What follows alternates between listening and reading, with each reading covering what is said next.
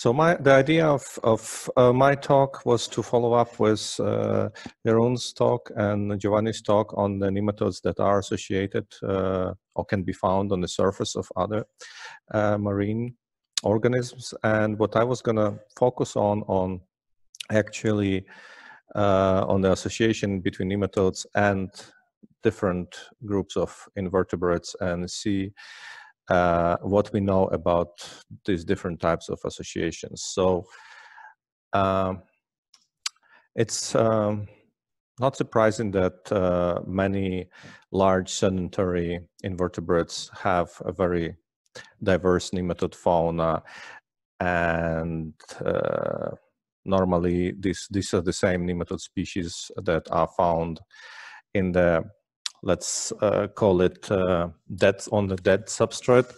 Like we can expect similar nematode fauna in coralline sand and in corals or in shell gravel and in oyster beds or in sponges and different types of epigrowths. Uh, very few nematode species that were uh, actually claimed to be strictly associated with this type of um, environment, maybe some parasitic ones like Halomonhystera cameroni that was actually uh, is a parasite of oysters. But normally what we find here is we cannot make any link between the host organism and the nematodes itself. While the situation gets a little bit uh, different when we start to look at uh, actively moving organisms. Uh, let's see how I how I do this. Okay. Uh, there were some uh, work done on the uh, deep sea gastropods that live on the sunken wood. And it turns out that some of them have uh, quite peculiar nematode species living on them, uh, very of, often found in uh, in the operculum and in the aperture of this nematode of this gastropod. we looked at many different individuals and we only found one species, the same species, very common. It seems like they are going in and out of the aperture and uh, stick around the operculum, what they do, what here, how they feed, uh, what's the what's their uh, purpose here, we don't know. Um, the problem uh, in this case is that we don't really have uh, samples from the sunken wood itself. So we don't know if the same nematodes will be found on the wood and they're just sitting, hanging around here of this mollusk uh, for whatever reasons. Uh, in another case, also uh, gastropod from the sunken wood here, there is there are a few more species. You can see uh, the uh, Desmoscolex here, and these are some linhomoids. Uh, I think, if I remember correctly, there were three or four different genera. This is also a slimy substance that's been accumulating in the operculum of the mollusk. So this here is an aperture, and uh, here's uh, the operculum. Again, we don't have a sample from the sunken wood itself, and we don't know if presence of these nematodes here gives them any type of benefits. Assumingly, this slime is produced by the mollusk, so there is a, a high protein content, maybe bacteria growing there, and uh, they serve as a food for the nematodes, but there is no way we can establish any clear association uh, between these two organisms. So now when moving further to uh, uh, let's say, actively moving organisms and uh, meiofauna, I want to uh, first speak about things that we clearly know that are uh, definitely parasites and then uh, focus on the nematodes that we found out that have a certain association with uh, invertebrates, but we don't know what type of association it is. But I want to start with this with a statement uh, from um, Walter Sudhaus, who is a nematologist working with uh, terrestrial nematodes.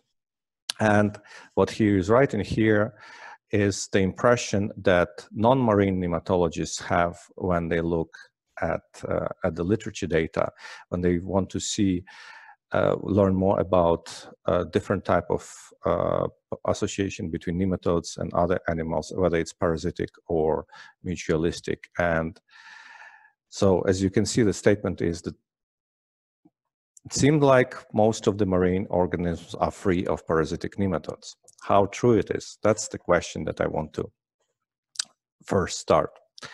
And yes, there are nematodes that are parasites in other marine invertebrates. There are three different groups that are well, relatively well known, and there is no question about them being parasites. The first group is the benthimermithids. Uh, not very common, but not very rare. They parasitize, they can be found in all sorts of marine invertebrates, including the nematodes here. So this is a sample from the discovery collections from the deep sea, and you can see the one mm, Trophomera species inside uh, here nematode called up, and there is another one that stretches all the way from the tail end and going somewhere here. So there are about, what, 40 different species in this group, not too many, not very abundant. Moving next, even less common group marimermithids, also found in a, uh, unfrequently in a deep sea, again associated with different uh, types of hosts. Not much known about them. The third group is a very peculiar genus Echinomermella. There are only two species found. They're mostly found, uh, one species was found in Echinus esculentus, the other one in Strongylocentrotus in Europe. And this is a, a sample from a, in the Petri dish. You can see uh, probably 10, 12, 15 females. They can reach up to one meter in length. And these tiny, tiny little threads here, these are bits and pieces from the males that are much, much smaller and very fragile. So in this case, this is um, seem to be quite common in Norway, in northern Norway, in Strongylocentrotus, but it was probably, it, for me, it's the hardest species to get hold on. So the sample that I have is about 70 years old. Uh, we try to sequence it, and nothing works. So anything else that can be called a parasite? Um, it's here, this is when things are getting a little bit more complicated. And there is a variety of nematode species that are associated with different types of crustaceans, including uh, semi-aquatic uh, and even land crabs. I was going to show you here the habitat where they live in. Most commonly they are found on in gill chambers on the gills. But uh, when samples were fixed, I transported them and over time uh, the gills, the, the movement of the sample, the gills got cleaned up and the nematodes fell out of the gills. So I'm just showing you the actual specimen that was dissected uh, where nematodes were collected from. And some of the species, they live, uh, they um, live in these kind of uh, sediment conglomerates that are uh, between uh, leaves in the gills in uh, these clumps of, of sediment that are stuck between the gills in, in the gill chambers. What they do there, we think they are feeding on the bacteria in, or the assumption is that they feed on the bacteria of uh, that, that live in this uh, mucus glued uh, sediment we don't know if they are uh, having any impact on the uh, livelihood of the host. But then there are others that live in the same habitat and can even be found in the uh, body cavity in the crabs that look more like this. This is the anterior end and uh, this structure of the stoma doesn't really look like it's a typical bacterial feeding nematode. Whether it's feeding on the tissues of the crab, this is something that uh, I would probably like to know a little bit more about. So here I just show you the two genera. There are several others. In, there are several chromadorids that uh, live in uh, associated with uh, crustaceans. There are some monhysterids. There are a few others. They, some of them uh, live also in the uh, between the eggs. That uh, like between the eggs that uh, the, uh, are being carried by the crustacean on their legs. Uh, some I know there are big uh, predatory Pontonema nematodes that live between the eggs of large lobsters, and there they feed actually on the symbiotic polychaetes. Uh, there was an experiment done in Sweden by one of our colleagues. So there can be multiple uh, reasons why these nematodes are uh, occupying the body of the crustaceans, whether they uh, live, where they are feeding on the other symbionts, or whether they are feeding on the, maybe they are feeding on the host, or whether they are feeding on the bacteria that grow in these clumps that they create themselves. Um, recently, uh, described by me, recently found in Sweden, another parasite from the group that up till now never had never uh, had any uh, obvious parasite parasitic nematodes uh, found in a shell gravel. Here you can see a small specimen inside the polychaete. Here you can have a, see a bigger specimen. And in this picture, you have uh, an SEM picture of the polychaete, and you can see the head sticking out of uh, from the body wall. And this uh, wider part of the body, this is where actually the nematode is uh, inside and stretching out the body wall.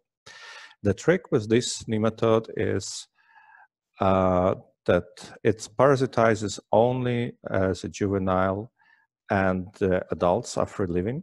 Well, just like in benthimermithids and marimermithids, but uh, the male that I was able to find, it's really hard to, by looking at it, it's really hard to say that it's it was uh, parasitizing inside the other organism uh, for larger part of its life because it doesn't show any obvious adaptation to parasitic lifestyle. The females, uh, despite sampling for five years in the same locality, I haven't been able to find it yet. I don't know, maybe it's too different looking from these specimens, maybe it's short-lived, maybe it's seasonal. I'm sure if anybody else uh, saw the female of, of this nematode, uh, probably considered it as a free living and didn't even connect it to the fact that the juveniles are parasitic. So this is something, this is where we are having a problem identifying the uh, type of lifestyle that nematode has and its association, uh, possible association with other organisms. And there will be few more examples of this type of uh, issue. So within the same group, there were there are several uh, species, one officially described, several published in the popular publications of nematodes that are parasites of uh, different uh, larger size foraminifera found in the deep sea.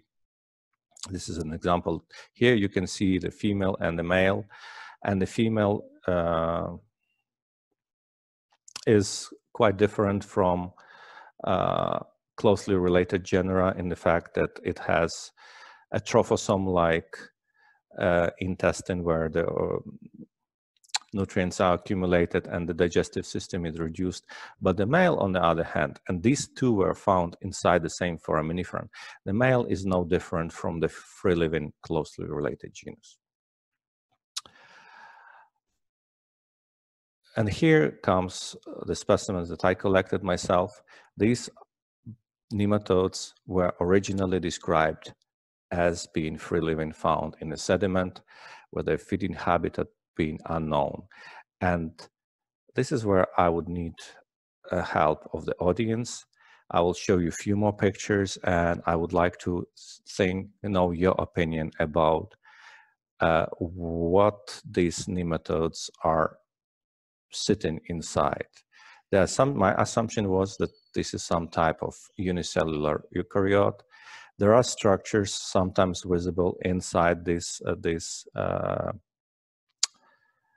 how would you, how would I say, uh, enclosure. Here, a few more examples. So here you can see some morphology here. The uh, outer layer is also has a texture that you can see under the very high magnification microscope. And all these species, this is a Camacolaimus, this is Onchium. You can see here, you can see a male, you can see several females, you can see juveniles. In the previous picture, you see here is a female and developing eggs, again, female developing eggs. Here's another example where it's a typical, when I opened this specimen, the morphology of the nematodes inside were typical Camacolaimus, but you can see there are eggs here, there are a bunch of juveniles, there are a few females. What are they living in? This is a question that I cannot answer now, and I would like your help when we have this discussion. But uh, taking regular samples, finding them, tons of people described Camacolaimus and Onchium in their samples, and there was never ever a question of them being associated with any type of uh, marine invertebrates. Um, and the last series of pictures that I want to show you is again uh, a group of nematodes that's quite uh, poorly known uh, that are associated with polychaetes. They actually live on the outside surface, not the inside contrary to previous examples that I show you. And how many uh, nematodes can be seen in this slide? Eight. They all are attaching to different parts of the uh, parapodia or gills. There are uh, two different originally they were described from Antarctica in 1960s.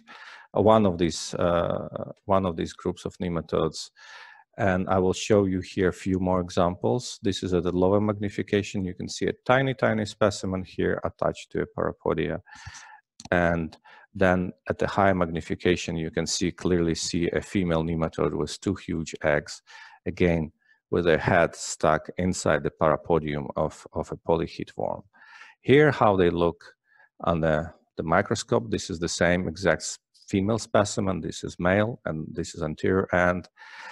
If found in a, in a regular sample, they look, they don't show any, any clues to the, to the, uh, their actual livelihood at least not in my opinion. This similar stoma morphology can be seen in other nematodes with, a, uh, with a large hooks that are pointing outwards. But in this case, these hooks are actually used uh, to attach the nematode to the cuticle, uh, to the outer surface of their host. So, and the next example, even if is even more peculiar, there even more common in the same samples, they were found on the same exact polychaete species specimens as uh, the Harpagonchidae. Here you have one individual, another one. Here's another one, and there's, you can see another one. When I first found them, I couldn't even figure out what they are related to. Now I have a little bit uh, better idea. These are some desmodorid uh, nematodes, and the closest relative that we know is uh, uh, found in typically found in in a sediment with no known association uh, to any any invertebrates. It has exactly the same stoma morphology. It's the genus Pseudonchus. So, uh, was it, is it really free living or uh, do we find it uh, in the sediment because of the mechanical disturbance that happens when we process the samples and it gets separated from the host? We don't know. How to um, improve the situation? This is what uh, the few problems that I think we can tackle if you want to know more about this type of association. And the first issue is that when people collect the material, the macrofauna that came in the same sample shouldn't be thrown away or shouldn't be given to the other colleagues, but actually should be preserved in case someone wants to examine it and see and test for any uh, macrofauna nematode association in them. And maybe our uh, sample treatment methods of fixations are not as good. And uh, for example, if uh, marine sediment is treated with a fresh water to detach the nematode, uh, nematodes uh, from sand particles, maybe that causes also uh, epibiotic uh, cells to detach themselves from their host, or